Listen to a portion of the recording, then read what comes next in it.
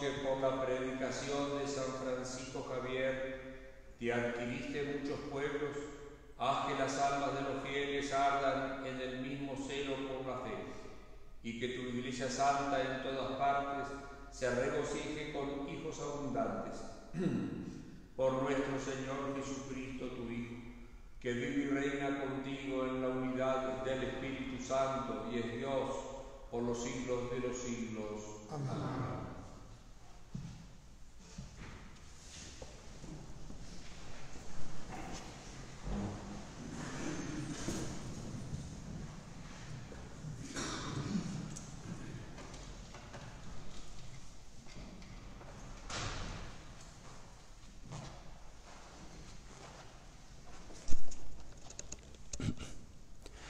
Lectura del libro de Isaías. Revelación que tuvo Isaías, hijo de Amós, acerca de Judá y de Jerusalén.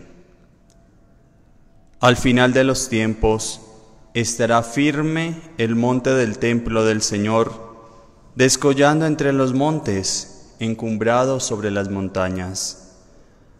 Hacia él se dirigirán las naciones, pueblos numerosos se encaminarán diciendo, Venid, subamos al monte del Señor, a la casa del Dios de Jacob, para que Él nos enseñe sus caminos y podamos seguir sus senderos.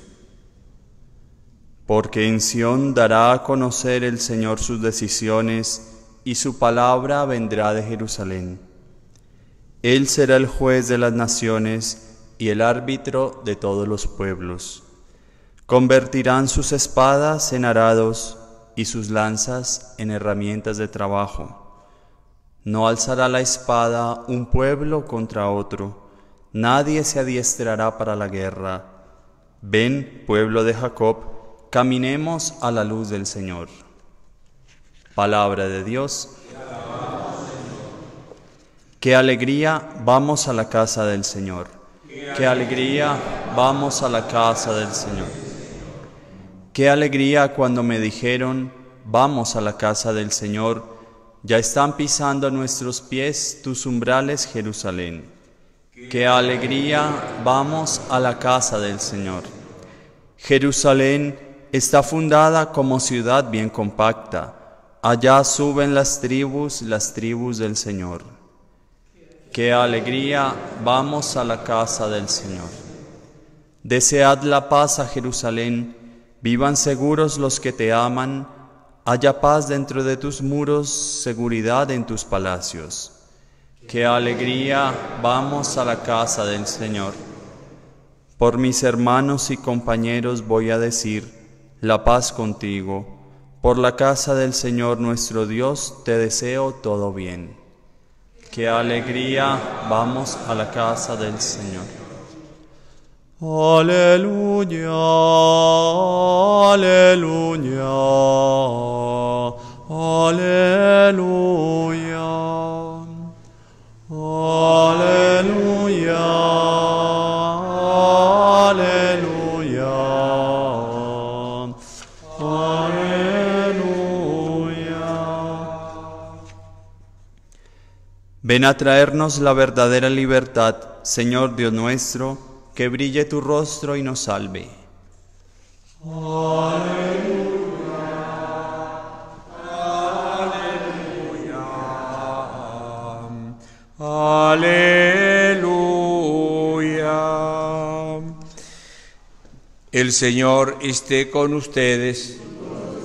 Lectura del Santo Evangelio según San Mateo. Cuando Jesús regresó a Cafarnaún, se le acercó un centurión para, rogarle y le dijo, Señor, tengo en casa un criado que está en cama paralizado y tiene muchos dolores.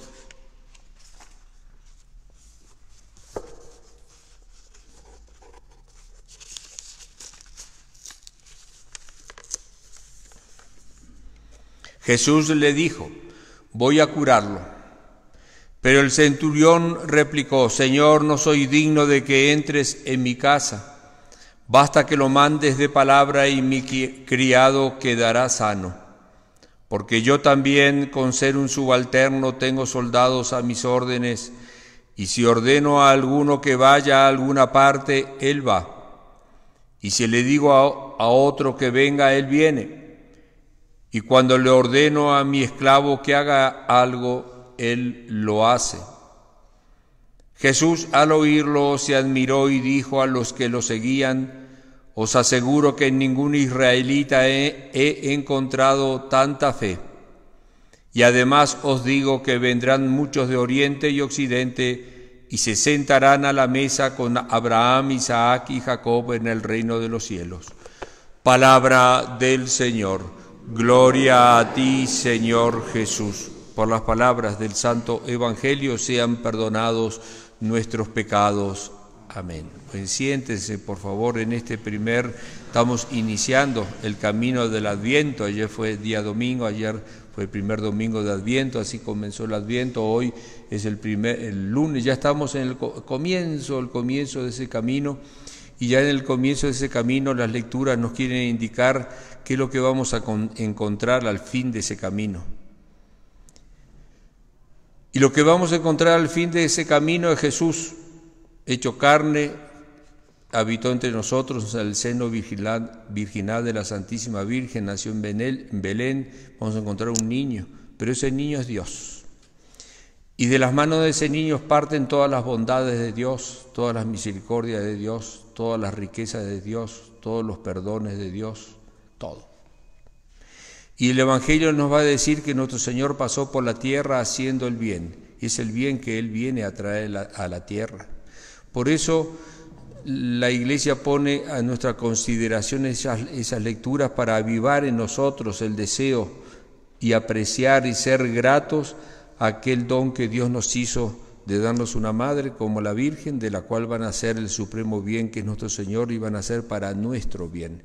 Y viene con todas las, las manos cargadas de bienes para nosotros. Por eso ven, está esta lectura de Isaías habla del monte Sión, habla de que él, ven, ¿dónde está? Aquí está, no, aquí. Dice, al final de los tiempos estará firme el monte del templo del Señor, descollando en los montes Hacia, Él se dirigirán las naciones. Acá, en, tanto en la lectura, en la proclamación del Evangelio de San Mateo o de San Elías, ya habla no solamente del pueblo de Israel, habla de todas las naciones, porque el centurión no era judío.